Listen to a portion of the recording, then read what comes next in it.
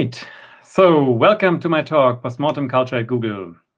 How do we learn from failures and how can you too? Before we go into the actual content, there are a few thoughts that I would like to share with you. So the first thing is, um, it's a beautiful new world. You can uh, hold a talk from wherever you are. You can listen to a talk at whatever time you want, um, at, at any speed that you want. So that is that is beautiful. On the other hand, um, what I personally really miss is uh, is feedback and the floor talk of conferences and so on. So um, if you um, if you have feedback, if you have questions, I would urge you please drop me a line, please write me an email, and, and I promise I will get back to you um, um, as soon as possible. Um, yeah. Also, before I start a few words about myself. I joined Google in May 2020, so shortly after the pandemic uh, started as a technical program manager. And um, yeah, my main team is an SRE team um, responsible for Google's um, capacity management slash quota systems that are used by the majority of internal services and foundational services and uh, there are a lot of interfaces with our dev partners, but obviously also um, with other teams. And um, yeah, as a TPM, I'm kind of like the, the glue between all these teams. One topic that I picked up also pretty much from um, the beginning when I joined Google were postmortem processes at the larger organization. And um, yeah, therefore, I'm really interested in uh, postmortems, uh, reading postmortems, evaluating postmortems, improving processes. And um, yeah, today I would like to give you an idea on, on how it looks, uh, uh, how, these processes look like at Google, and and would like to extract the gist for you. So what do you really need? Um, what do you really need uh, to also start um, a process on your own? And um, also, I should right away make the disclaimer: the um, the process, and there's not just one process, but the process that we have at Google evolved over um, many, many, many years. Um, and I'm pretty sure that um, you need, uh, you, you only need part of it actually to really start successfully. And yeah, before my time at Google, I, I was a consultant in, um, in, in, in, IT consulting. Um, and there I have seen several postmortem processes that sometimes worked, sometimes did not work so well. And I tried to, um, yeah, translate some of these uh, learnings uh, here too. All right. And with that, let's start with the introduction. I would like to clarify what are postmortems, why should we write postmortems, and how should we write postmortems, or maybe even better, how should we not write postmortems? Before we go into postmortems, there's I think one important thing that we need to um, to make sure, and I think error culture is like kind of like the foundation. So if you have uh, if you have error culture properly set up, yeah, if you, for example, accept that 100% is the wrong target, then that's already a, quite a good foundation to um, introduce postmortems um, to address very specific um, outages, yeah, to make sure that very specific outages don't reoccur. Outages of a certain severity or outages a certain impact pattern. We'll come to that later. But error culture is really the foundation. So if you accept that things can go wrong, that uh, you can go at a certain speed and rolling out new features and that these features might also sometimes be not as robust as you initially thought. If you accept that, then I think you're already in the right spot. Um, and then postmortems are a tool to manage the risk. Yeah? Not the only tool, but uh, definitely a tool to, to manage the larger risks. And yeah, by that, you're accepting that failure is something normal. And this is kind of like symbolized by the um, spare tire on, on the car that you have on the right side here. Yeah, and um, I think this is also pretty much in line with uh, with SRE culture in general. Yeah, I mean, if we think about SLOs, um, all these kind of things accept failure as something normal, and sometimes we fail a bit more than we were actually expecting, and this is uh, where postmortems typically um, come into play. So, what are postmortems? postmortems are a written record of an incident, and they capture what happened, usually with, with quite a bit of context that help you understanding the situation also in retrospect. Why did it happen? So these this answers questions like what was the root cause and what did actually trigger the outage? And what do we plan to make sure that uh, outages, that similar outages in the future can be prevented? And they are not an invention of the IT industry. Postmortems are, for example, used in uh, aviation and also healthcare industry for quite a while already. And um, they're sometimes named differently, but the idea is always the same. And good postmortems, in particular, explain the background why the relevant actions or root causes or triggers exist. Yeah? And they include the historical uh, context in the explanation. And this is valuable because um, none of the systems that we that we take care of usually are as bad because we are bad engineers. We all suffer from uh, decisions that we made in the past, decisions about a certain use case that we want to support, which is maybe not even present anymore. It's not used anymore. Yeah. Um, certain assumptions about our users that have not um, that have not been proven to be true, and various other things. And um, this therefore this context is really important. Yeah, and um, good postmortems also tell a story. Yeah, they tell a story from um, from uh, yeah, basically how did we get where we are now?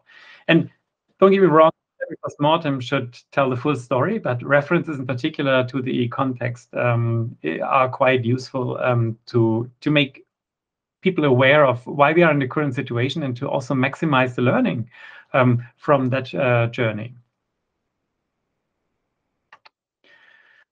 Okay, so um, why should we write postmortem? So what do we get when we write postmortems? Um, so primarily they are a tool to learn as an organization and to prevent uh, future outages. And they are well suited for a little bit more complex uh, outages and, and uh, systemic failures.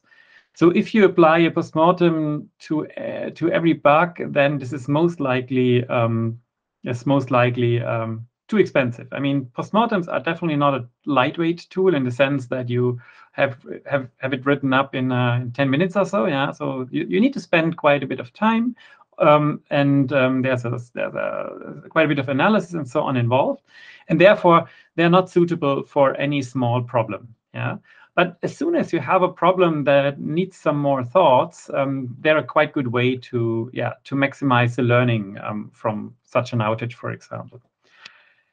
Yeah, and um, one other benefit uh, that I see with postmortems, if they're written well, then they can be consumed by the entire team and the entire organization, and by that you maximize learning. Yeah, you maximize the spread of best practices and of um, and of principles that you derive from maybe even multiple outages.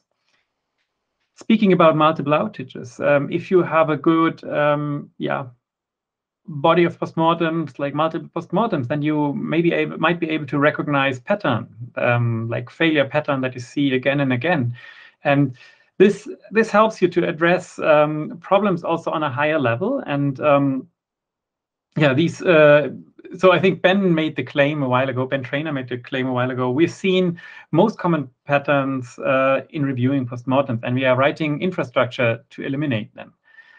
And then you might, uh, might ask, okay, we done that, yeah, but why do outages then still happen? And I think seeing the pattern again and again uh, is is not too surprising. The um, the the actual thing that you that you that you see in in some cases that um, infrastructure, for example, that you've created to prevent a certain outage was not applied to another part because that uh, part works quite differently and it was not adoptable. So you couldn't apply these learnings. So in this case, you make sure that the learning can also be applied to another area. Or, and this is also something that you definitely see, is you have eliminated a certain outage pattern and now other pattern become by that more important. Okay, um, one really other important thing I want to make, uh, important point that I want to make is um, it's not a it's not a thing that you do once. Yeah, so you maybe look at past postmortems, and um, once you've done that analysis, um, you make maybe some changes. You can prioritize, for example, certain deprecation efforts. That's something that I have um, seen very often that if you have to decide between multiple programs or projects, how do you prioritize them for reliability? And um, this is uh, this is something where postmortems can help in the decision. Um, I think the other the other aspect is that they make uh, they make reliability engineering quite measurable over a long term.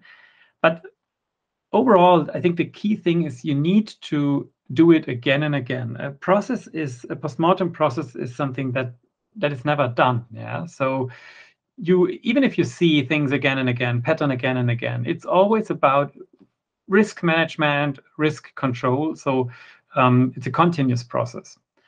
One other thing that I want to mention as well is postmortems are not a tool to punish people that are involved uh, in or, did, or who did contribute to the outage. And that bring me, brings me to one point that I uh, want to summarize here.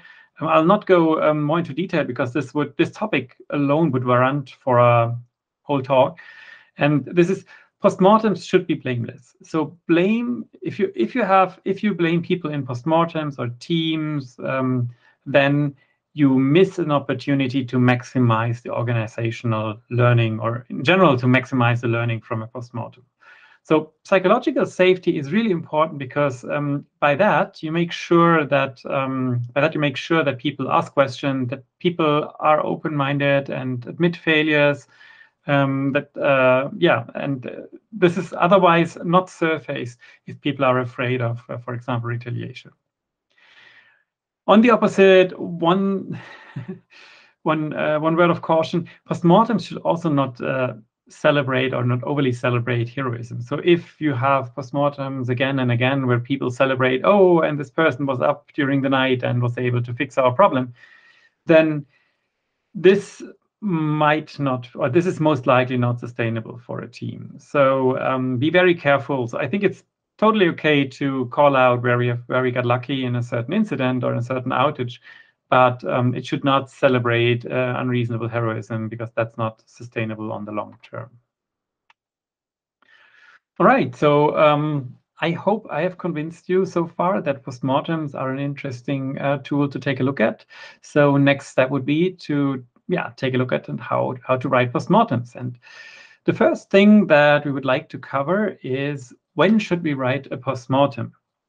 And this has actually two meanings. Let's cover the temporal meaning first. So when should I start writing a postmortem? And let's take the, the common case. You're in an incident. Um, you're currently in the process of mitigating the incident. Um, there you usually should not start writing a postmortem.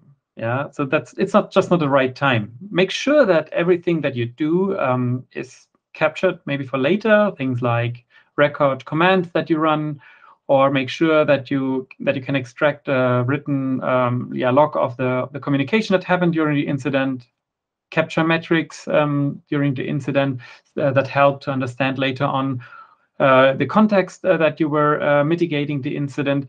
These kind of things are really important um, to to do, but I make that just part of your incident response. Yeah, that's that's actually the best thing here. Then at some point, the incident is mitigated.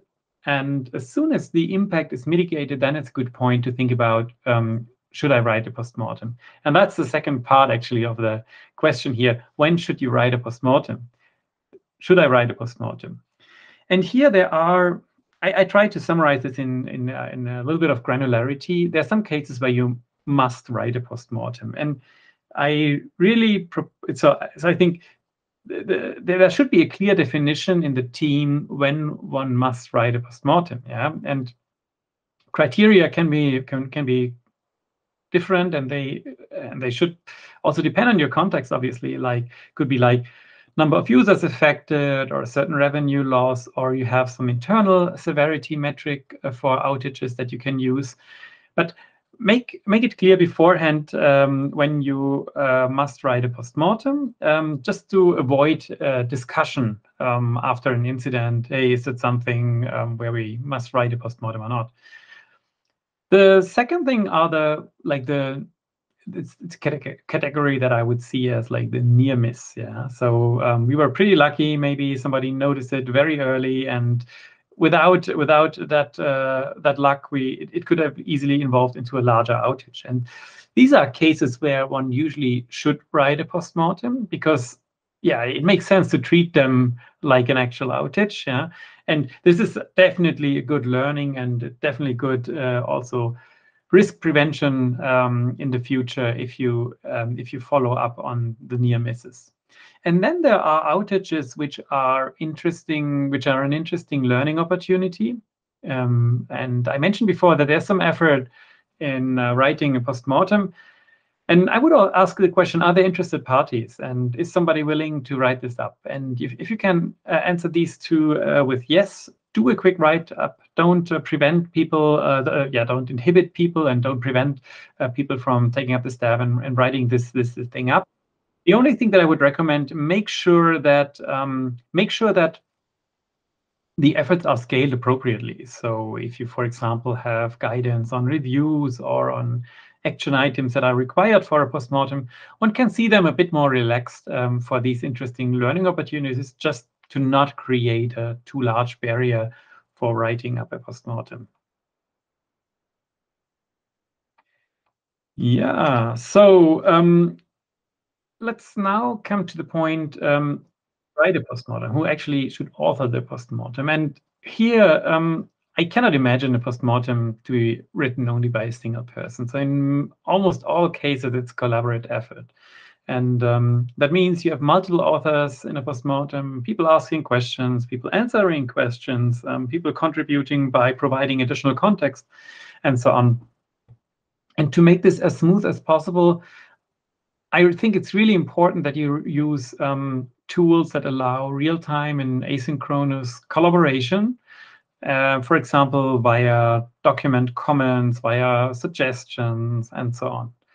So that's the, the tooling part and how a postmortem is written. So it's collaborative. And still there is someone who needs to coordinate, who needs to drive the process, who needs to ping folks, hey, can you answer that question? Um, and so on. And this is the postmortem owner. And I strongly recommend um, that the postmortem owner is a single um, person And not necessarily this person uh, needs to be involved in the incident. It can be the incident commander. Um, that that is definitely a, a, fair choice. But there can also be um, other choices, and this can also be done ad hoc. Yeah. So in some cases, maybe a dev or SRE manager or a tech lead um, is in a better position to drive the postmortem to um, completion. Ah, yeah. One side note I also want to make um, make sure that impacted parties are included in the postmortem. In the picture here, there's an SRE team for a third service that was impacted by the outage. Make sure that they are included. If you have customer facing impact, for example, make sure that the product team is included as a proxy for the users and so on. All right, um, who will read your postmortem? So who is the audience of a postmortem? And there are different classes, I would say, different categories. Um, I try to split this up into three here. And one is everything that is everything, everybody who is in uh, or every every team that is a, directly around your team. So consider it just as team. Folks that are familiar with the context. Um, also, those are typically the the people that are working on the action items. And they, are, they, they don't need a lot of background information. Um, their main interest is in understanding the root cause, to have a direct learning about what, what was, uh, yeah, what can be in the future. And um, they are also interested in a balanced plan because they are the ones that most likely will execute large portions of it. The second um, class of people are, let's say, folks in the company. Yeah, and these are not exclusively, but maybe directors, architects, other affected teams, and so on. And the main difference to the team is that um, they are not very familiar with the context. So they they know the system roughly, but they might not know the internal. So they need a little bit more background information. And their main interest is um, to understand, um, yeah, the, the risk or to manage the risk, um, to learn from from uh, from error pattern uh, that they see in other teams. And I think for it's very common that for them high impact and near miss postmortems are quite valuable, but also um, cross team postmortems are often interesting at that level because they hint at um, yeah organizational mismatches, for example. And yeah, finally, I want to point out postmortems that are um, that that are interesting for the public or for the customers. And um, here, I think the, the key difference is that um, that um, customers or the public are not familiar with the company internals and uh, and the context. And the purpose can be to regain trust um, on the company taking action on an outage, or also just um, yeah learning from failures of others.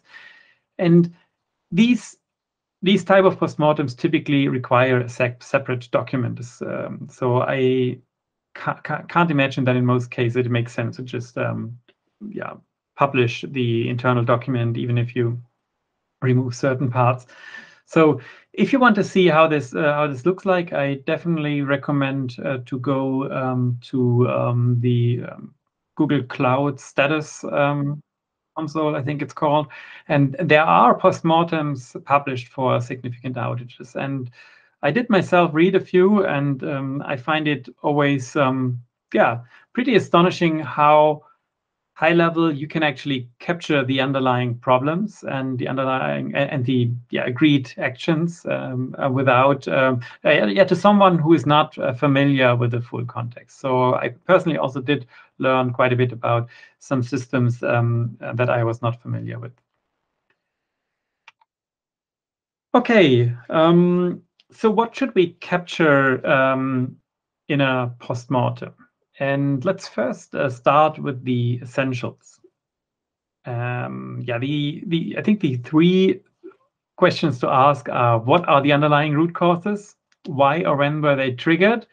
And how did the impact, uh, how did it impact the product? Um, and what exactly um, was the impact?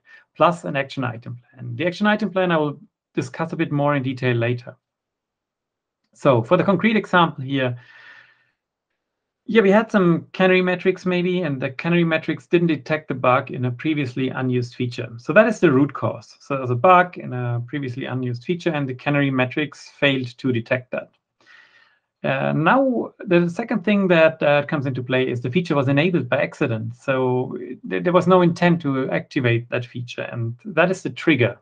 So the enabling the feature and rolling it out was the trigger. So that did set our system into the error state. And then what happened uh, is um, that all our worker threads um, ended up in an error state. And now many people, or it, it often happens that uh, that this is mistakenly taken as the impact. Yeah? But at this point, yeah, if nobody cares about worker threads in an error state, no one is impacted. Yeah? And therefore, it is really uh, important to go one step further and, and ask, okay, so what was the actual impact? And in this case, for example, the product ordering was unavailable for quite a few hours and um, it caused us to lose some revenue. And then the second thing that I mentioned is the action item plan. Again, I promised uh, to take a look at that later. Um, lessons learned. That is also something that's actually my favorite section in almost every postmortem. This is like a free form section where you, uh, yeah, where you can capture your learnings, like what went well, what went poorly, where where do, where, where where we got lucky lucky. And um, I think it's not mandatory, but I think it's a pretty nice format to to yeah to capture thoughts of of the involved uh, persons on on uh, what what they think the learnings are, and then there's a whole bunch of supporting material that I also would definitely recommend to collect. Um, I think one of the most important one is a timeline from my perspective, because that allows to you to categorize postmortems, for example, by time to detection and so on and so on. But there are other things like chat logs, everything that helps you understanding the context uh, of the outage of the the people that that that, that were actually um, yeah um, mitigating the outage.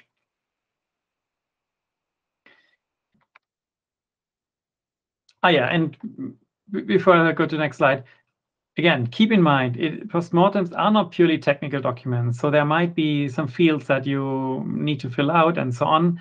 But um, they usually tell a story, and the, the gist is that uh, that there is a story in the postmortem because then people like to read it, and um, yeah, it's also a lot more fun. I, re I, I recall postmortem reviews. Um, I will never forget a postmortem review of a postmortem in our team, and um, an engineer in our team. She presented a postmortem to uh, yeah high level leadership, and she really was presenting a pretty nice story and was pointing out that almost every um, deprecation program played into the into into the into the whole story a little bit, played a role a little bit into the whole story, and it was yeah, all the people really liked uh, the, the, the story that was told, although it was actually really close to what what really happened. And um, yeah, I think it's it's also about making sure that the that the story is told in an appropriate way. So let's look at an example postmortem. Um, also, um, one thing that I want to point out, this is just an excerpt of the postmortem published in the SRE book. Um, I have captured the main parts on, on a few slides just to give you an idea on how a postmortem looks like. But I definitely recommend you to take a look at the book um, to see the full example. So what we have here is a little bit of metadata that definitely makes sense to capture. Obvious things like a title, Shakespeare Sonnet plus plus postmortem, maybe an incident number, and so on. Date, authors, status. So basically, what status is the state is the current document. Summary, of what happened, like a one or two level summary that makes it rediscoverable. Um, if you have many postmortems and you read the summaries, you might remember, okay, this was uh, this outage, impact, and root causes. And um, this is um, these sections often have a short variant, like an executive summary, and then the the longer variant that can be like a whole section with a lot of narrative. Um, on the other side, I have trigger and resolution and detection. Um, same for here. So the, these are there's usually, oh, I would recommend to have like a short, um, yeah, pretty crisp uh, part for each of these with a few sentences, and yeah, the longer variant in in the narrative of the postmortem. The reason for the for the um, for the yeah short variant is that if you, for example, systemic systematically look at, hey, do we have a gap in detection? Do we do most of our postmortems are actually uh, do most of our outages are are most of our outages discovered by users that file a bug or a complaint, or do we detect them by monitoring? And these questions you can easily answer by, for example, looking at all detection, yeah, summaries of your postmortems. Yeah, and uh, again, the narrative is not shown here, so that is um, typically um, text that contains more background, references to documentation, explaining also a little bit what happened in a timeline and why certain um, things uh, were designed that way and so on and so on. Yeah, the second thing that I want to show here um, is the action item plan. So um, this can be a table. Um, so most commonly it's a table um, listing the actual AIs and their type. And there can be different types. For example, prevention action items. That's the most obvious one. They make sure that we prevent future outages of the same type. But there are also mitigate um, actions that allow you to next time just be more quickly in the mitigation of the outage. For example, by adding some documentation or detection AIs that allow you to um, more quickly detect um, the outage, for example, by some automated alert or something like that, instead of users warning you. And I definitely recommend that all action items um, are tracked in whatever you use internally for tracking features and bugs. And you can use that system also to reference back um, to the postmortem for additional context. And one other thing that I um, think is quite important is every action item ideally is has a single owner. So it's assigned to a person, not necessarily because that person is the one who um, solves the action item and, for example, implements the fix. But uh, there should be someone who has the current state um, of this action item that who knows, hey, we planned this for next semester, we planned this for the next sprint, and so on.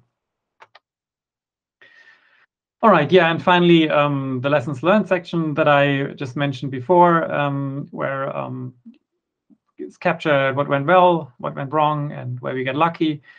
And um, also the timeline. The timeline is, I think, also something really useful um, to yeah, get an idea of what actually happened from a quick uh, scan. Okay, so um, so far we have talked about um, writing a postmortem. So how does such a process look on a very high level? Let's think about a very simple process. Let's say you have an incident um, that uh, was uh, mitigated, so the incident is over, and the first thing is that you need to decide if you want or must write a postmortem. And let's assume that the answer is yes. Then you start a document draft and um, you start capturing all the information that you have from the outage in that document. And that's the postmortem draft state. And once you have captured a little bit of information, um, you can start analyzing the root cause. There are questions um, that come up um, and, and, and so on. I'll go to go, go into that a bit more in detail um, later on. And once you have agreed on the root causes and uh, once you have identified um, actions that you want to resolve, uh, yeah, action items that you want to resolve in the future, the postmortem is reviewed. And I think that's an important part because the review is kind of like the agreement that, yeah, I think so. So we, we agree that this is this is our view on what actually happened, um, and we also agree that this is the list of actions that we want to pursue in order to reduce or um, yeah eliminate the risk in the future. And then the postmortem is published. So once the review is done, the postmortem is published, and uh, we can resolve uh, the action items. And then there is a like a mm, yeah an additional step at the end if all the action items are resolved, which can take years. Then the postmortem is considered as complete. That means that all risks that we identified in the postmortem or that we identified as worth um, resolving were resolved, and as such, the postmortem is considered uh, complete.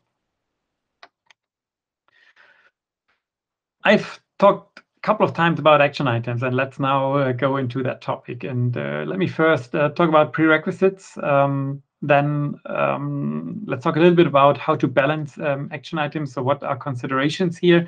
And finally, about execution. But yeah, before we go into the prerequisite uh, topic, um, why are action items important? Um, because to our users, if we write a postmortem and we have no subsequent action, then this is indistinguishable from not having a postmortem at all. And this is also a quote from uh, Ben Treynor, um, and I think that's actually very true. So if you if you're if you're not intent or if it's unclear if you can commit to any action from a postmortem, then is probably um, creating more frustration than um, than um, than use because uh, yeah you you know um, that there's a problem and you accept that you're not going to do something about it so that's why actions are really important for for these uh, for these outages uh, where you think a postmortem is actually worth um, worth to do uh, the, I, by the way, this is also uh, one other thing.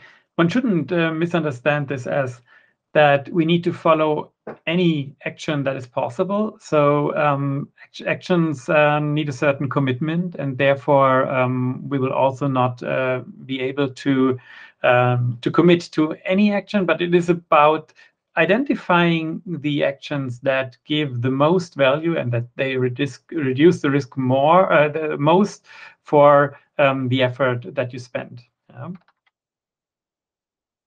Okay, so how, um, so what do we need to, in order to um, create an action item plan? And there are different um, approaches to root cause analysis. And um, two others that I don't have on this slide are um, fault tree analysis or Ishikawa diagrams. Um, and here I'll show a technique called five whys.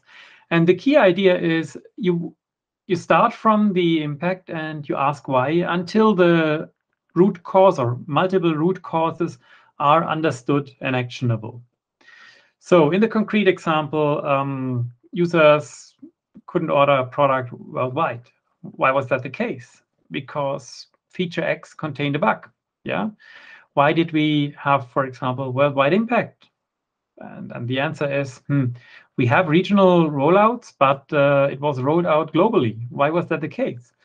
And then the answer is, hmm, um, yeah, because we had canaries, but the canaries didn't use uh, signal Y, um, and this signal um, would have, um, yeah, would have showed us that uh, that we have a problem and therefore have prevented um, a global rollout of, of the issue. Yeah, and there are other reasons like missing tests and so on, and each of them at some point are actionable. And uh, then it is important to decide what are the most impactful actions for the effort that we have to spend to resolve these. But I really, um, yeah, I really want to emphasize, don't try to dive too quickly into actions, yeah, because if you don't ask these questions, yeah, and don't explore the whole space of possible actions to um, to reduce the risk here, then um, yeah, then then you miss an opportunity to um, yeah to maximize the the impact um, by also reducing efforts. Yeah. Okay, so let's let's say we have understood um, we have understood our root causes. Um, what do we need to consider when creating an action item plan? And one thing to consider is um, that there are short-term actions that we can do, often called band-aid um, action items, and they are long-term AIs.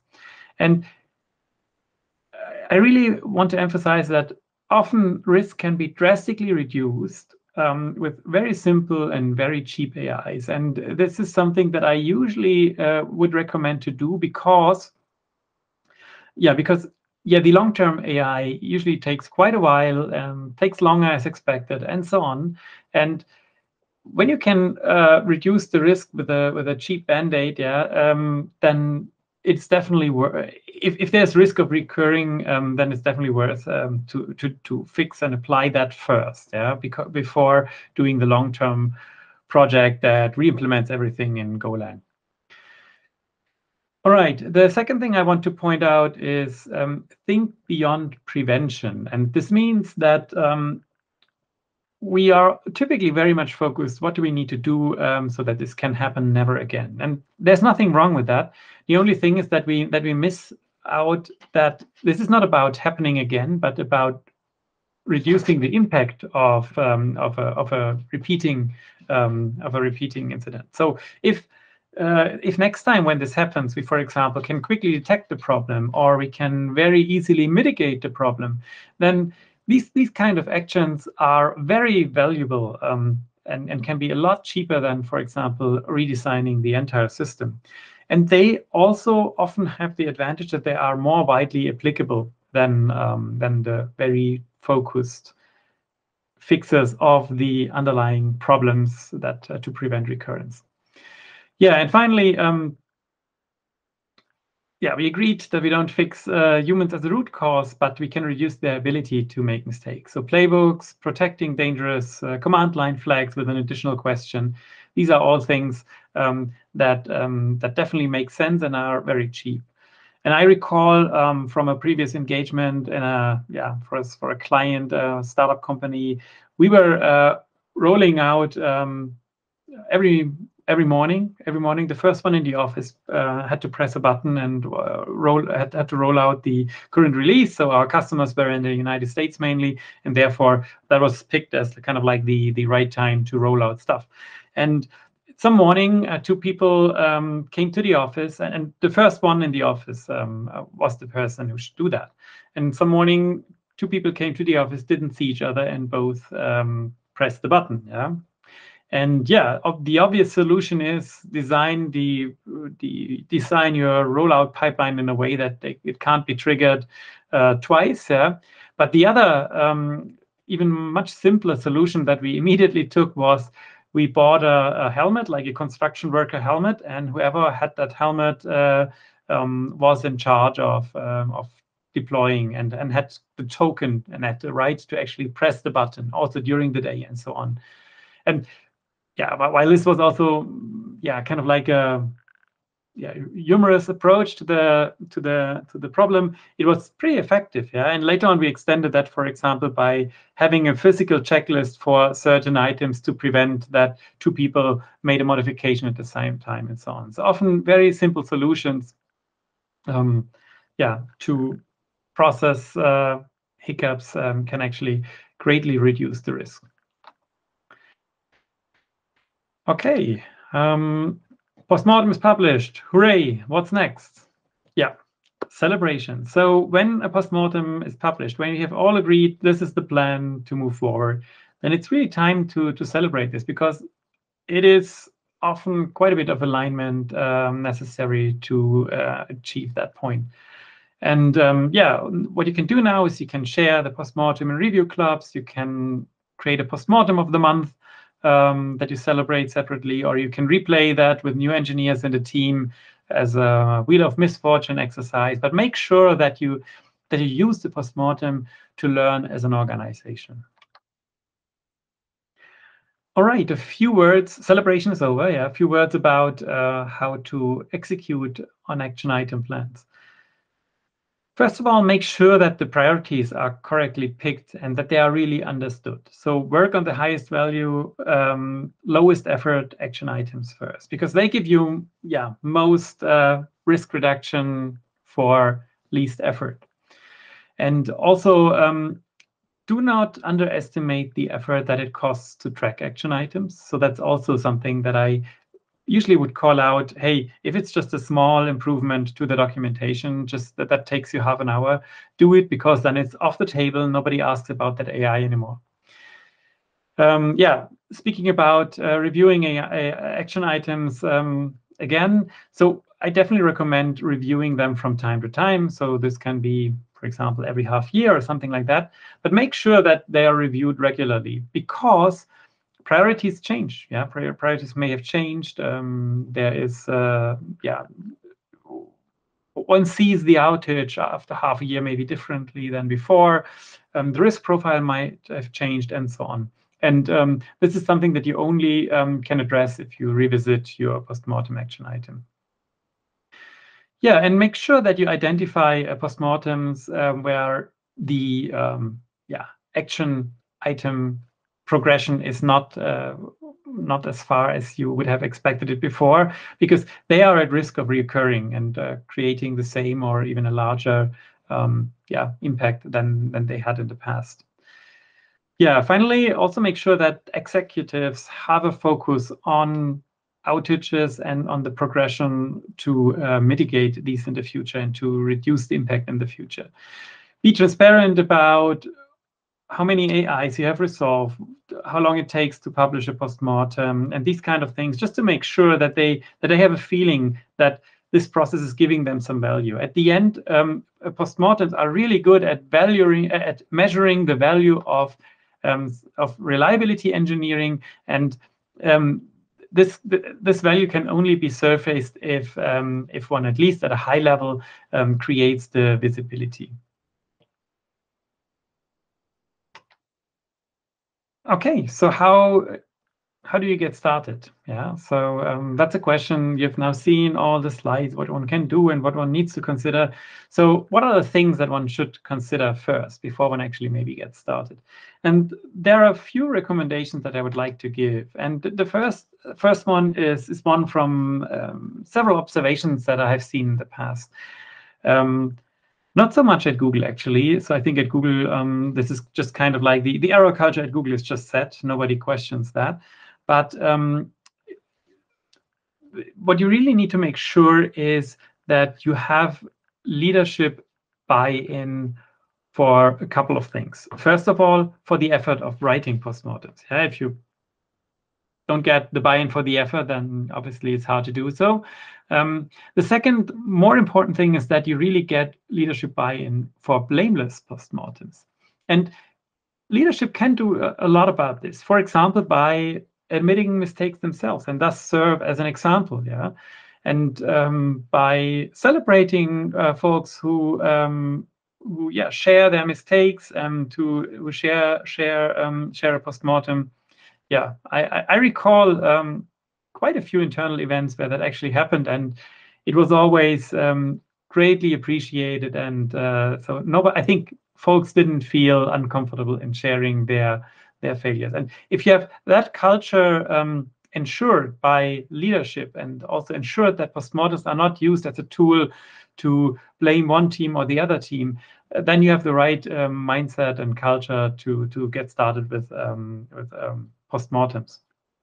And finally, you need to get buy-in that their postmortems also create action items and that these actions need to prioritize. Not all at the same time, but um, that there are at least some that you probably pretty quickly want to work on. And um, as such, um, I, I, point this out because um, many other things work bottom up. I think with postmortem, with, without uh, the certain buy-in from leadership, um, it doesn't make sense. Yeah, the second thing that I think is really important, define a criteria for when a postmortem must be written. And don't aim too high. Just make sure that you can build up some muscle memory so that you're not having to exercise writing a postmortem for the first uh, large outage. Yeah. And you can tweak that criteria at the beginning just to make sure that you that you get the right exposure to the process. And yeah, finally, I also want to call out have a simple process. Make make sure that you have clear ownership and clear responsibilities, but start with a really simple process. And uh, when you start simple, then the, the second thing that you can do is that you can wait for perfection. Yeah, don't don't over-index on reviews or sign-offs or people rubber stamping postmortems. Just start with it and and learn from postmortems and also learn from the process. Yeah, and that's kind of like the guidance that I can give you to to start. I've seen a couple of times fail in the past um, to get these processes introduced in various teams, mostly actually because of the first point that I mentioned about the missing buy-in from leadership. Um, and um, in also I've seen in, in several cases that very simple processes are actually quite uh, powerful. So don't aim for the huge process that, uh, that we, for example, have internally. Yeah, and with that, um, I would like um, to thank you all if you have listened uh, to my postmortem story uh, so far. I definitely recommend um, a read of the um, of the two chapters in the site reliability engineering book, and there's also a section in the SRE workbook. Both are available online. There are detailed examples. There's, there are a couple of case studies, and there's also a checklist um, available in, in these books. And um, yeah, take these as a reference point, but don't take these as the only truth and the and the, yeah and the most uh, and the best uh, well best thought through example that you just can blindly apply. And yeah, just a reminder, if you have questions, if you have feedback, I would really appreciate um, if you drop me a line. And um, yeah, with that, thank you. And I hope I see some folks of you also at some point in person. Thanks.